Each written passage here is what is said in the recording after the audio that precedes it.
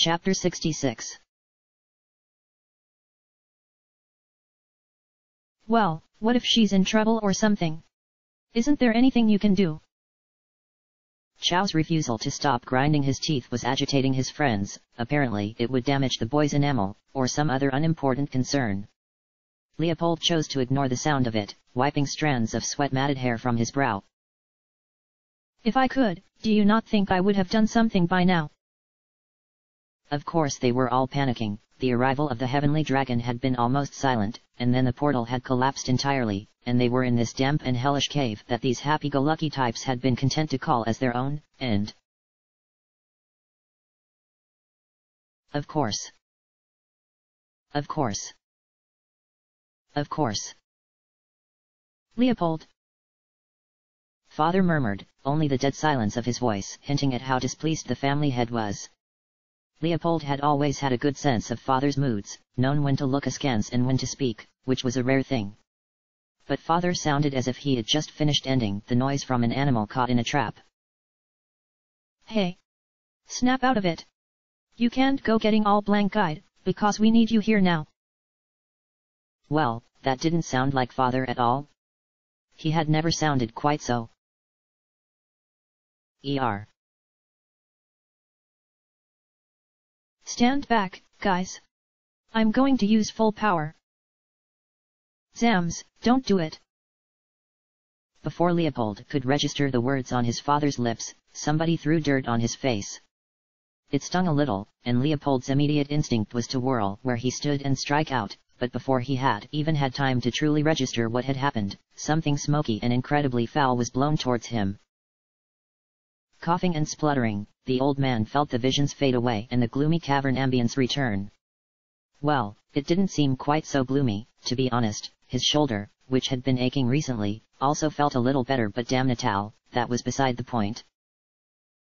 The plant girl was looking very proud of herself, of course, well Zhao, despite still looking worried, was trying not to laugh. Wiping the dirt from his face, Leopold tried to remember precisely what he had planned to say, but it all seemed a little inconsequential. Right, sorry. I suppose I was getting a little ahead of myself. I'm sure there's something to be done, I just do not have the skill nor knowledge to do it. So, I suppose we should focus on what can be done, instead. Bones had been quietly laboring in the background, the patience of the skeletal creature no longer surprising Leopold. He was a hard worker despite the eons of his long existence, and no matter how worried he seemed, he could still find time to look for, Ah. I think it's finally time. Don't you? The skeleton announced gravely, holding aloft a horn of nightmarish intent and certain craftsmanship. Leopold had recognized the instrument the moment he set eyes on it of course, but...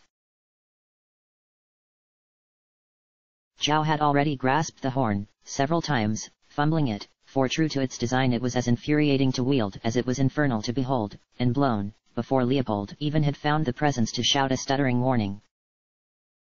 PTTHTTTTT Came the weak and unimpressive noise from the horn, sounding like the wheeze of stale air from a punctured bag of disgustingly overcooked crunchy dairy-flavored products. Uh.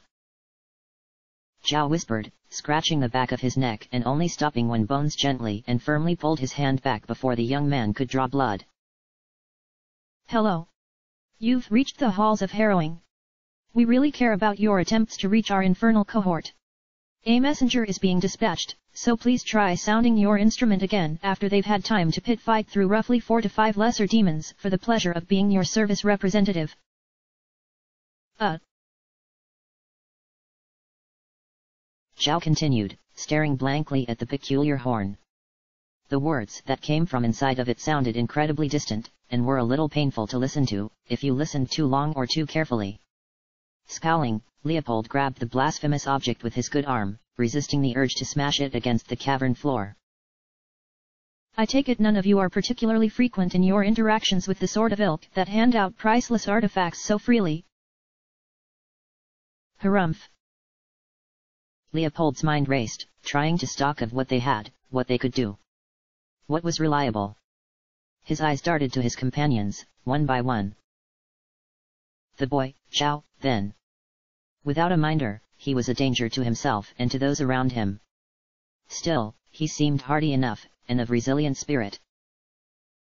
Zambi had a lot of energy, and now that the sting of dirt had left his face, that smoke was rather calming, even if it did smell distressingly like patchouli, and would likely cling to his jacket after he had finally found the chance to clean it, somewhat.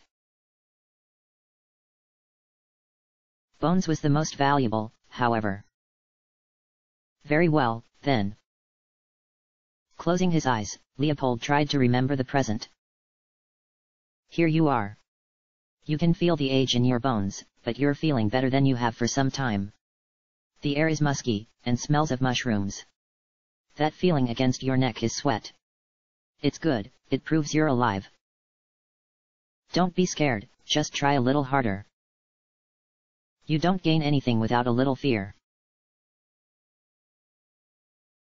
The smoke crackled around his feet, and Leopold took a cautious step back. Watch carefully, if you will. I shall need you all to comport yourselves carefully, as I have. I have no idea what I'm doing.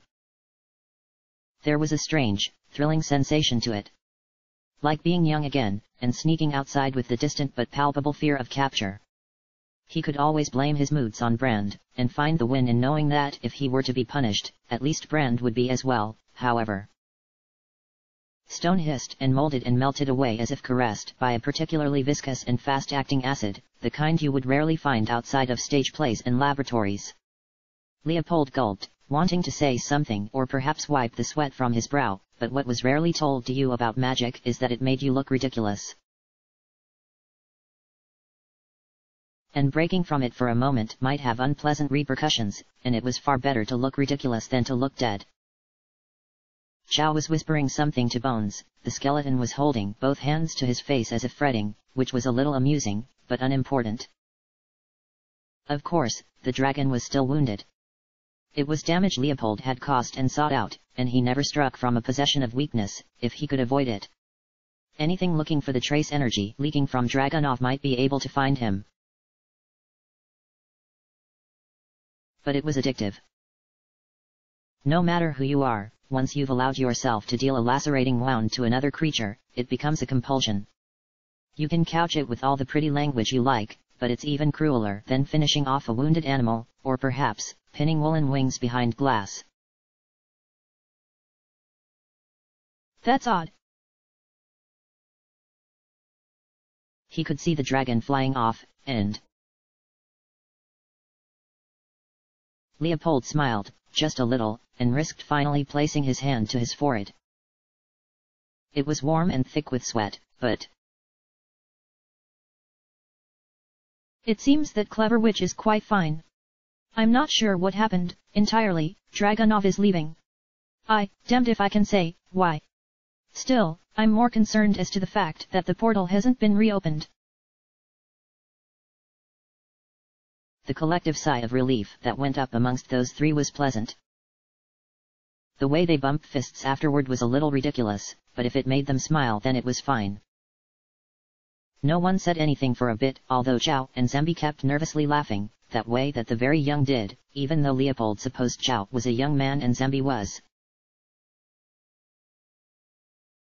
A Silvosapien? Damn, what he wouldn't trade for a good thesaurus. Hey! Leo! Thank you! So much! I, I honestly can't think of things that I hate more than waiting for. For bad news. Chow began, and Leopold stared pointedly at the ceiling. We're quite in agreement. It's normal to feel that way, and anyway. Lorelei is quite talented. As I have said. It would be a shame to lose that, though you would really think Dragunov would have recovered by now. Of course they hadn't seen the state of the great dragon, felt his weakness. Leopold bit his lip. He was practically letting the chance evaporate around him. How often would something so powerful as Dragunov be reduced to bleeding raw magic from wounds that were, they were practically infected? Tap, tap, tap. Hey, Leopold. Are you alright? You could probably try taking a breather and then maybe getting things started again over here. Of course, Zhao. Apologies, I was just thinking about things. It's funny how the world turns. You must remember, when you return. Ah, when we return to our world. I'd beg it of you, if I was more servile. Smiling thinly, Leopold shook his head, and eased his hair back with a practiced calmness. Let's try to stay focused, for now. There'll be plenty of time to forget what we should have remembered later. Bones interjected, and it took Leopold a moment to realize that the old skeleton was having a laugh at his expense. Surprising himself, he laughed as well, laughed until it almost hurt, almost. Right, too right. A moment, though.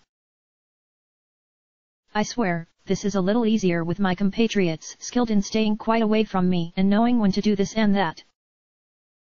Well, what can we do? Standing around and waiting for you to magic things up was neat the first time, but if we can kind of skip past it now that we've already seen it. Zambi began, and she had a good point. Leopold watched in astonishment as, under his very careful direction, the three of them were soon assembled in a very clumsy, very ugly, and nevertheless serviceable magical triagram.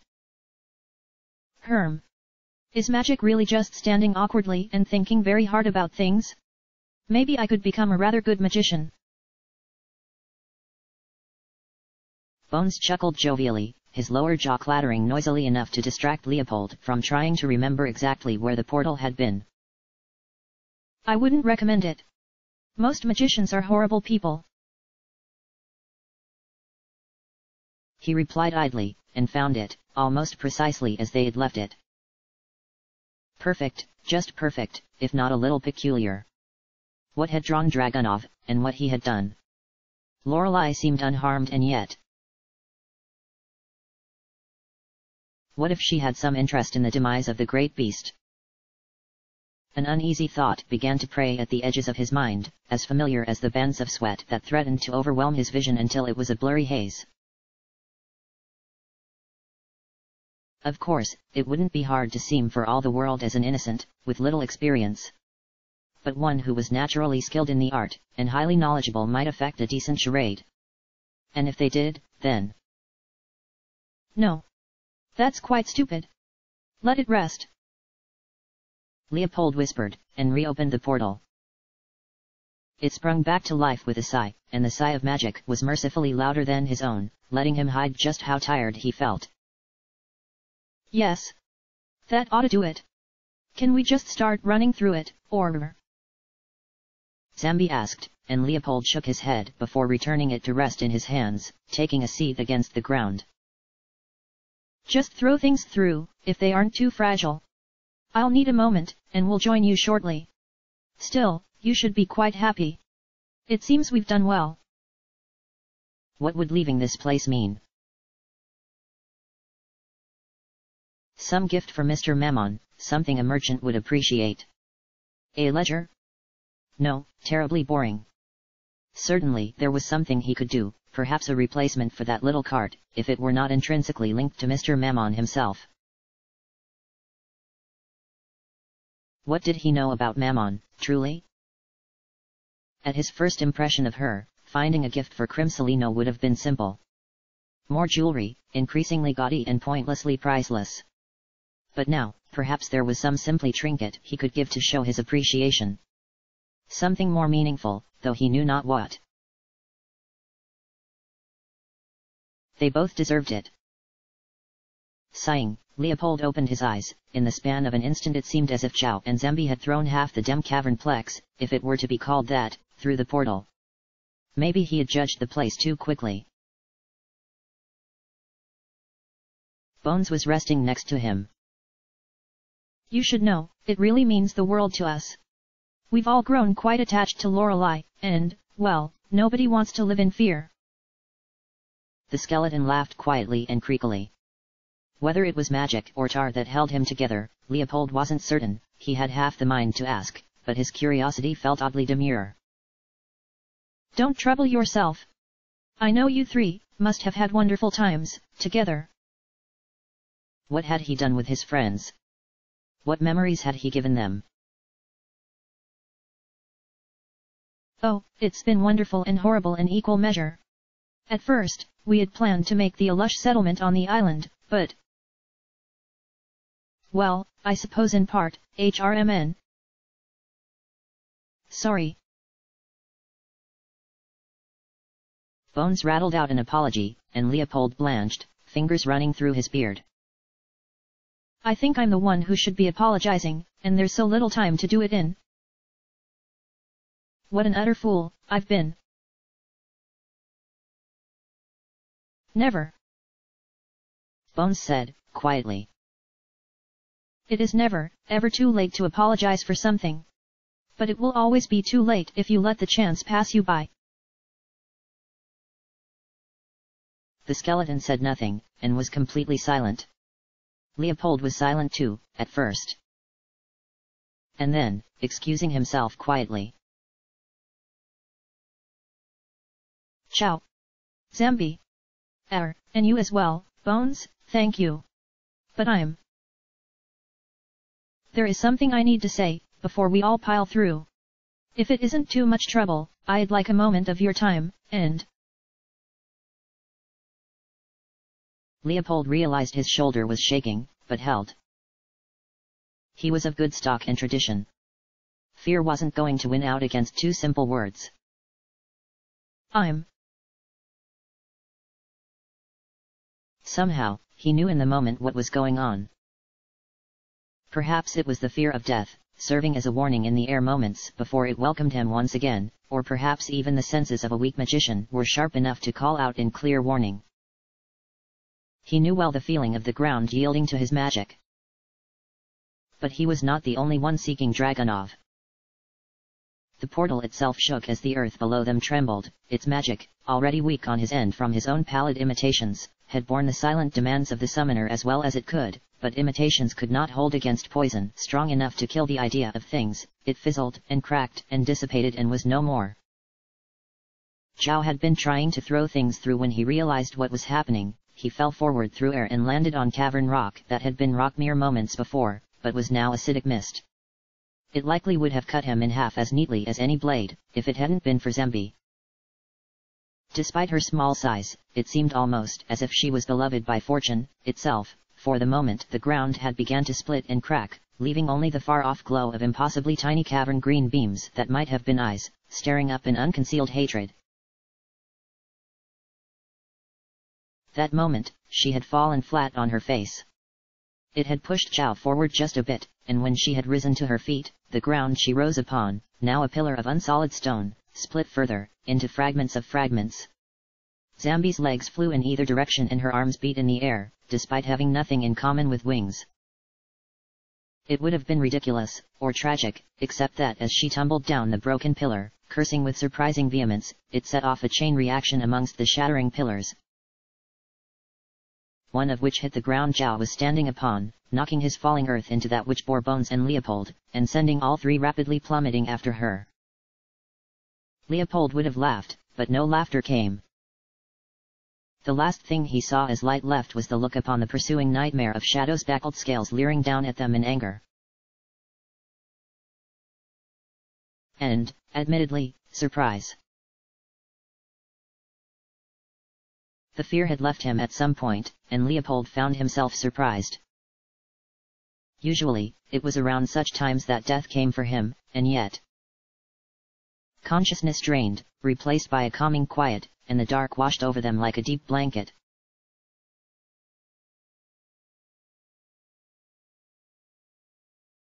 Chapter End